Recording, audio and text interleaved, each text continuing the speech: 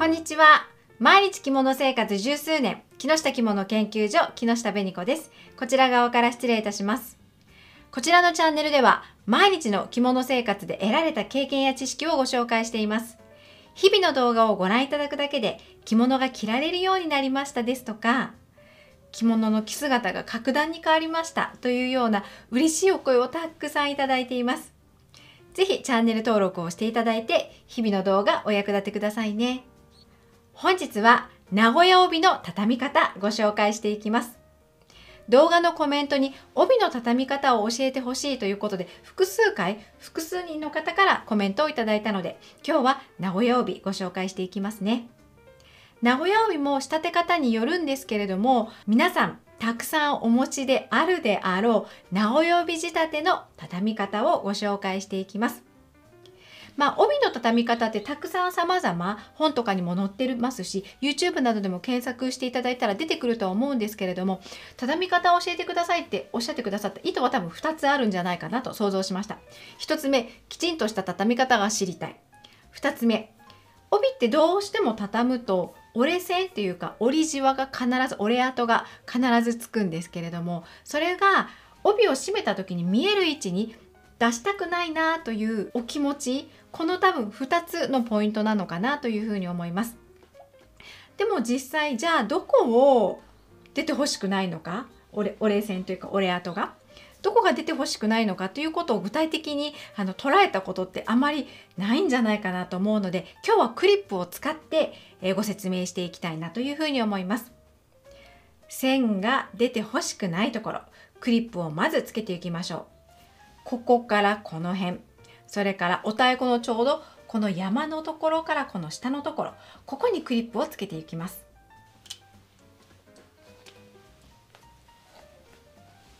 手が届かない場合はあのお友達とかご家族の方にご協力をもらってください。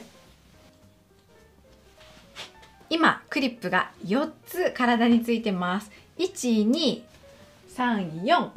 4 つついています。じゃあ早速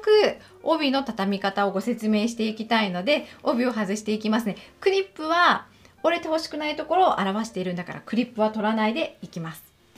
今帯を外して畳の上に置いています。まあ私はこの畳毎朝拭いているので、帯をそのまま置いちゃってますけれども、いわゆるこう衣装敷っていうか、あの、引くようなものを、の上に、畳、の上で畳まれる方が多いんじゃないかなというふうに思います。皆さんはご自分の事情に合わせていただければと思います。で、今実際、帯を畳んでいって、こう、前の開いている状態ですね。表に出る部分がこの後ろ側に来ていて、今はこう体に当たる部分が上になっています。クリップの位置皆さんお分かりでしょうか？こっからここがお太鼓のところ。それから、ここからここがお腹周りに来るところですね。では、早速畳み方ご紹介していきましょう。この帯って最初今こういう風にあの折れ線がついているんですけれども、こっち側に倒してもどちらでも大丈夫です。クリップの位置が、まずお腹周りのところが、ここからここにありますよね。で、お太鼓のところがこっからここ。帯の柄付けとか柄位置に寄ったりもするんですけれども、ここからこことここからここが被れば、帯を折った時の折れ跡っていうのが表に響かないんですよね。だからこの帯で言うと、こっからここに折れ線がないということがとても重要になります。なんですけど、ちょっとここからここの距離が広すぎるので、少し調整したいなというふうに思います。この段階でよいしょ。ちょっとだけ、ここ、曲げてあげると、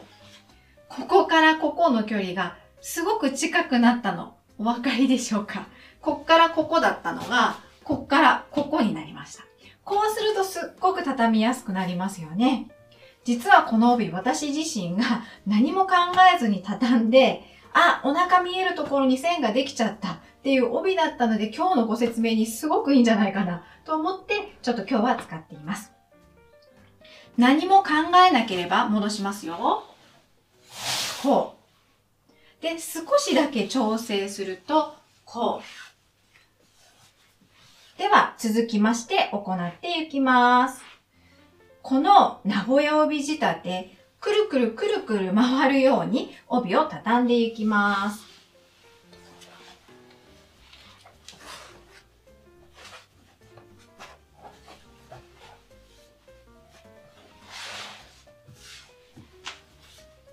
まず、こちら側に折って、で、また、こっち側に折っていきます。よいしょ。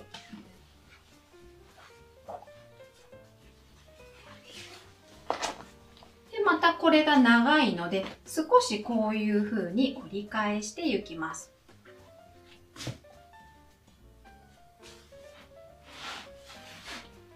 で、このままだとすごく場所を取ってしまうので、あと二畳みしますね。ここで1回、それからここでもう1回。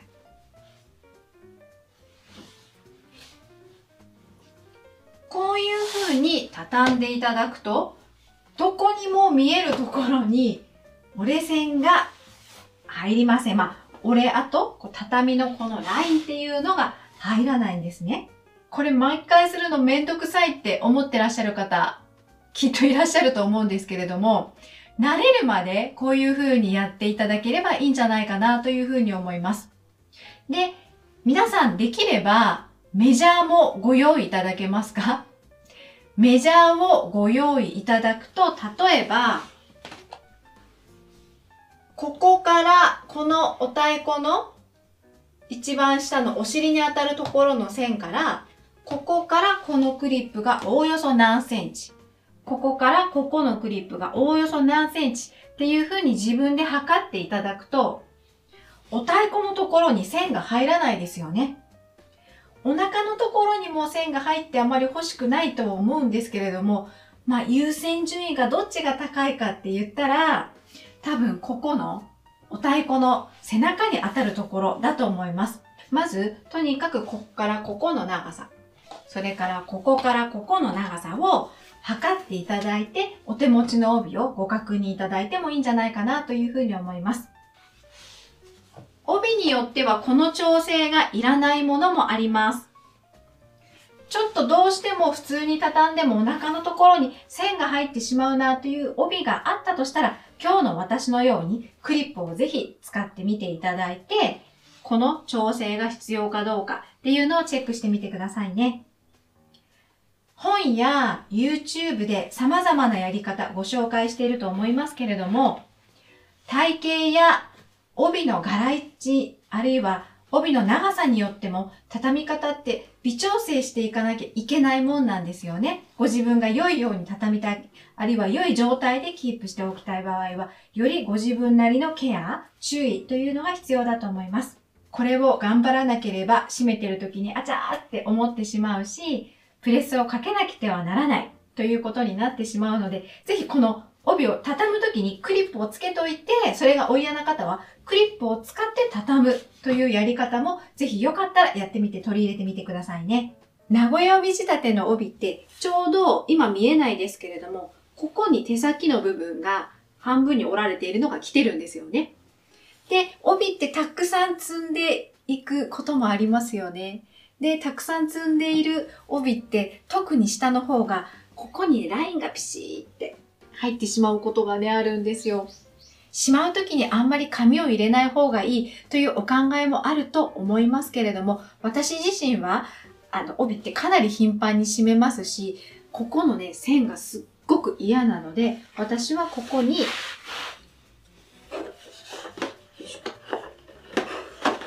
こんな風に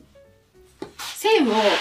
が出ないようにこの中に紙を入れるようにしています。ちょっとカビとかが気になる方はもうこれをやらない方がいいと思うんですけれども、あの、ある程度頻繁にお召しになられて、ここの線、あ、わかるわかるという方はよかったら1枚入れていただくだけでだいぶ違うと思うのでよかったら試してみてくださいね。本日は名古屋帯の名古屋帯仕立ての畳み方ご紹介させていただきました。